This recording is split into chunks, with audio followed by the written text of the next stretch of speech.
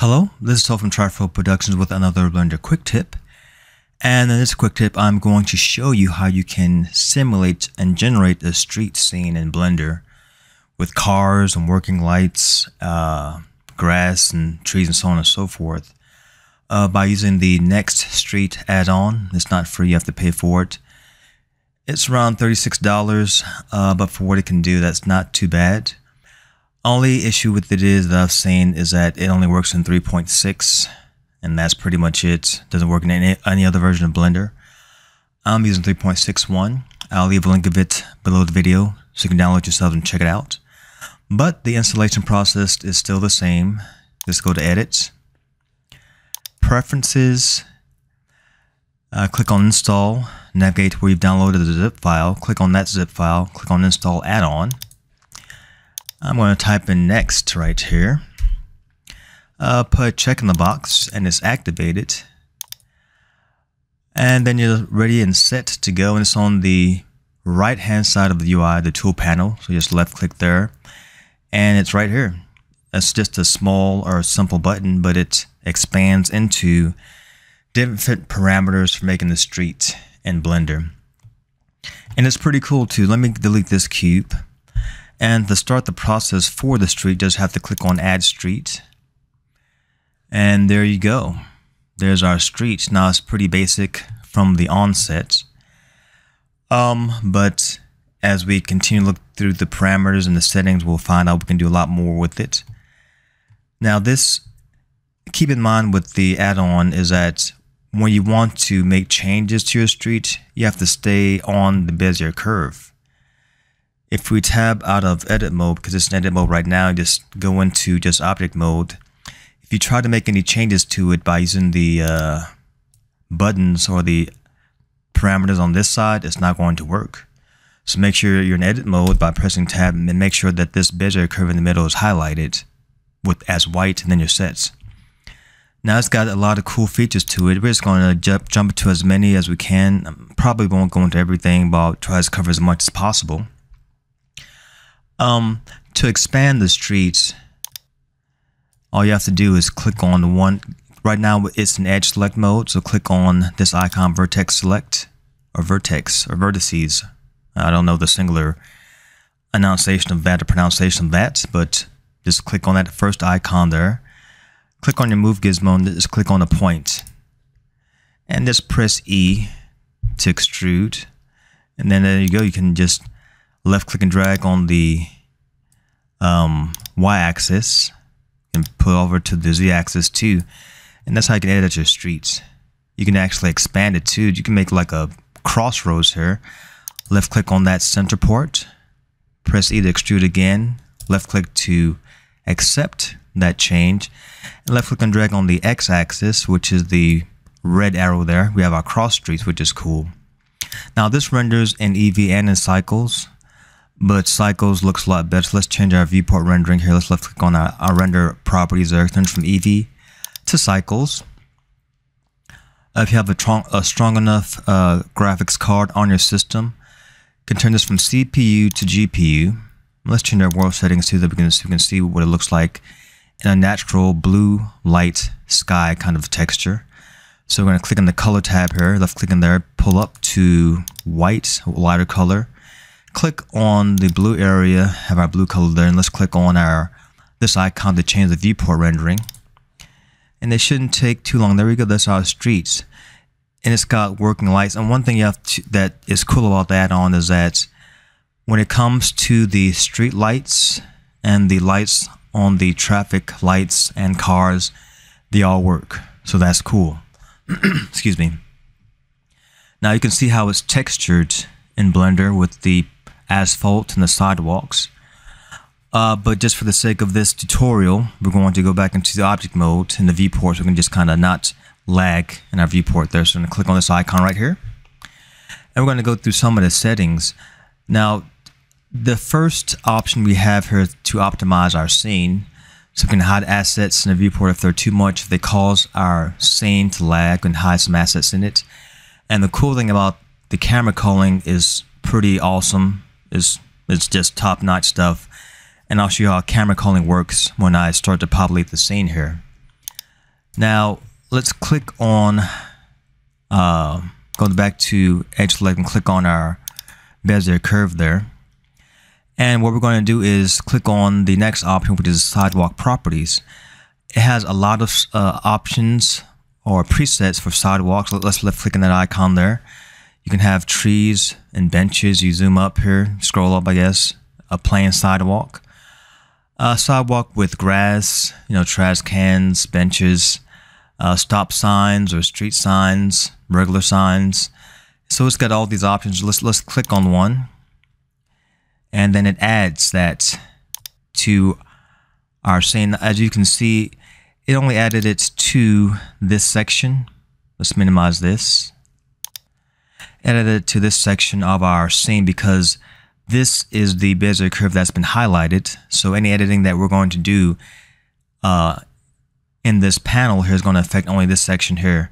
If you want to edit this part of it, that's that's the cool thing about customizing your streets with this add-on because you can customize individual sections of the street. All the, the whole street doesn't have to look the same. So to customize this part, just left click on that and then click on your uh, options there, your presets there. Let's change it to just just bench, a trash can and grass. Left click on that and, and we have that option applied to that side of the street. So that's that's pretty cool. Now you can uh, actually, let's go back to our first Bezier curve. And let's reposition our window here so we can see what's going on here. We can have our tree, we have our trees here and our stop signs here. And we can just change that to just a guardrail if we want to. It does automatically. That has no presets. It's just guardrails or click on none and it turns it to none. But let's go back to sidewalk because that looks pretty nice. Our next option in terms of customizing our street would be, let's uh, expand that street profile. Left click on that. Now this uh, affects the amount of cars we want in our scene. We left click on that, it gives us four preset options here. Two cars, four cars, six car lanes or eight car lanes. And these go, you know, this could probably, this goes on both sides of your streets. One going in this direction and the other going in the opposite direction. So you can have uh, all these cars in your scene. And the cool thing about this, once again, is that it populates the cars automatically. Once you click on simulate, you have everything set up. You can uh, press simulation, and then it just automatically applies cars with working headlights and stoplights driving on the streets. And the cars actually stop. They actually stop at the at these little um, stoplights because these work too. These turn from red to yellow to green, and the cars they pretty much uh, like it does in, in this life. They pretty much just obey the traffic stops. They'll stop at red and then go on green. So that is pretty. It's it's. That's why I say for thirty six dollars, this isn't this isn't that bad. It's really nice. And our next option here, we're going to skip simulation for at, at this point. Just let's go through all the uh, other options that we have here. Oh, intersection. That also is something you can uh, adjust because right now we have an intersection here in the middle. And we can click on this option there to change the way the intersection looks to make it look a little bit, uh, I guess, better. If, we, if we're not pleased with the way it looks at this point in time, just click on intersection, traffic lights, toggle, and that'll fix that. You can switch it from uh, left-hand driving, from right to left-hand driving. If depends on depending on what uh, part of the world you're you know wanting to depict. I know in Europe, London, they drive on the left side of the street, so this also simulates that, which is cool. And our next option before simulation or after simulation is texturing. We click on that. You have um, options in terms of if you want the street to be wet or have snow on the streets. And I'm going to let's let's see how that looks. Hopefully, um, Blender won't crash. But let's just give it give it a shot here. Let's left click on our uh, render option there. We have our uh, street selected here, and we want to click in here to see how it looks with water on it. So let's bump this up to like maybe 0.5. Enter. And then we want to increase our water height. Left click in there. And Let's turn this to probably one. Enter. Let's see what that looks like. And you can see from just bumping up the water height all the way up. Now we have some sheen or some shine. Oh, that's the, my alarm clock on my phone. Let's stop that. You can see that the streets is now saturated with water. If we put this down to 0.5 also, it becomes a little bit less saturated. You can see patches of water on the sidewalk as opposed to the whole area being covered with water. Even patches of water on the streets. So that's nice. Let's turn this back to zero, enter. Zero, enter. And let's check out the snow. Let's bump this up to 0.5 also, enter have a little bit of snow there, but the snow spread, let's see how that looks. have like a couple of patches of snow here and there. Let's put the spread to 1, enter. And now we have more snow on the streets.